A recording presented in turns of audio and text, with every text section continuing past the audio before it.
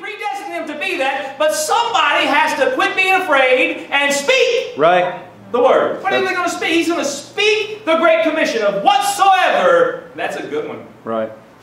What are you going to teach them? What are you going to say to them? What are you not going to be afraid to say? Whatever I command you. Isn't that a wonderful and wide open commandment? Right.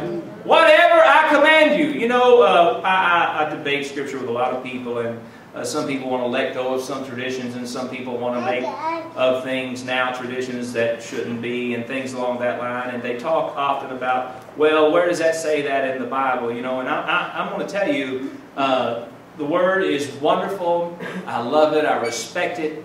It is beautiful. It has a power that we don't even know. Uh, it was made flesh and dwelled among us. it, the Word, the Word of God. Okay, listen, it's special. But when God gives you a commandment, uh, He gives you a commandment. Right. Now listen, I want, to, I want to point out that one time in the New Testament, uh, Paul said something like, it's a shame, sorry Chris, it's a shame for uh, a man to have long hair. I bet Paul would never say that to Samson. In this chapter, I think he shaves his head bald uh, later on in this chapter. And, and um, but he would never have said that to Samson. Why? Because Samson had a command from the Lord that he had lived out all of his life that was his very strength, where another brother would come along and say, You ought to cut your hair. You got to be very careful of listening to other people. Uh, Amen. There's a position that you can get into in the Lord where that you don't need a man to teach you. I love teaching. I love sitting here on Wednesday nights. I love preaching even better. I love to share the word of the Lord. I love to share the testimonies that are so true of what the Lord has done in my life. And some of those have impacted your life, and it's a wonderful thing. But but I, I love the fact that the Lord can be the same to you as He's been to me. Right. He can deliver you out of evil. He can be with you in the valley. He can, he can lead you to the mountaintop. He can lead you through experiences that, you know, you don't need to compare yourself to me and say, oh, well, I'll never be a preacher or I'll never be a pastor and therefore I can't minister. No, no, no, no. God can use you in greater dimensions than He's ever used me. Right. The Bible says they that compare themselves to themselves are not wise. That means when you say, uh, I'll be as good as so-and-so, and when I get there, I'll have made it. No, don't stop there. Be, you know, when you want to compare yourself to somebody, Right. snuggle up to the Lord Right. and see how you measure up, and then we'll see what you come away with. Right. We can know Him in a personal way where the Holy Spirit can lead and guide us into all truth and give us commandments in our dreams and our sleeps that we abide by the rest of our lives. Nowhere in the Scripture, and I use this because it's kind of funny and it's good and it's relevant, because nowhere in the Scripture does it say, Thou shalt not smoke crack. You won't find it. You'll have scriptures that people use, you know, like your body is the temple and things along that line. It's very good scripture, but nowhere in the scripture is there a commandment or Jesus didn't say in the Sermon on the Mount, Thus saith I unto you, smoketh not the cracketh. it's not there. It's not there, but God.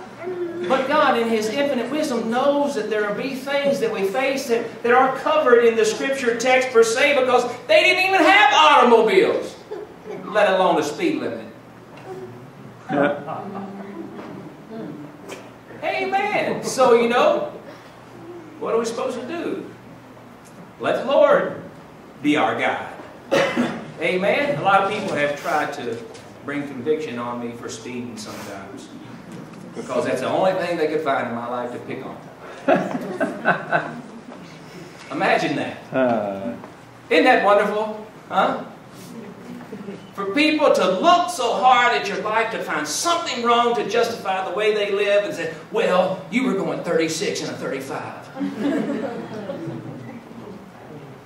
I'm big enough to pay the ticket too. Not that I think that reasonable and prudent is a wonderful way to drive. I think that that is wonderful. I like, what is it, Montana or Nebraska that has that type of uh, speed limit where you can, or the Autobahn. Look out. Anyway, what I wanted to tell you is the Lord is able to speak to your heart. And what I really want to drive home, and I hope that He speaks through me to your heart to let you know that He has, Jesus has many people in this city. Amen. He has a soul for every seat in this building. He has souls that could line up around the block for this, this church or for this fellowship. And it's up to you to not be afraid, but to speak it out and let people know what good fellowship that you have with the Lord and with your church brothers and sisters. And you also have a responsibility to make it that way. Right. The Bible says if a man's going to have friends, and I'll interject brothers and sisters in the Lord, he has to be friendly. Right. Brother Bucky mentioned people at work that he didn't want to hang out with. Um, I know his he's got a couple coworkers here today, and they're thinking, "Who wonder who's that is?" Who's that? they probably already know who it is because they probably don't want to hang out with him either. But uh, you know, he's uh, church is the same way. You meet personalities that you know you don't want to necessarily be with them twenty four seven. That's why you're not married to them. You know, you get a, a lot of couples together and say, "Oh, I can never be married to Ken," or "I can never be married to," you know. You see what I'm saying? I picked on Ken. You see that?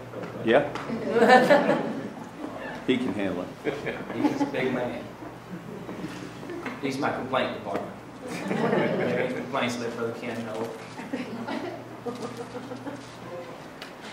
We get in positions where we're thinking about things that we don't need to think about, and we're getting into areas that we don't need to think about, and it's a he said, she said this about me, you know, and sells, she sells. But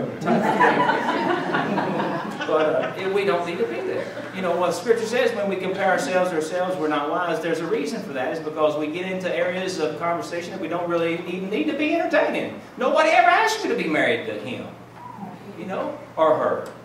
You see what I'm saying? And so uh, when we keep our um, our focus on what the Lord is saying to us. Uh, it's very specific. I have a wonderful illustration that the Lord gave me uh, regarding listening to the Lord because you may have a different call on your life than what I have.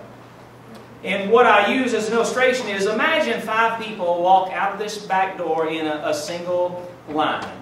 And the first one says, I'm going straight because the Lord says straight is the way. And the second one turns right and says, No, I'm going to go right I'm going to go right because it's, it's what the Lord is telling me to do. And the, the next one, uh, go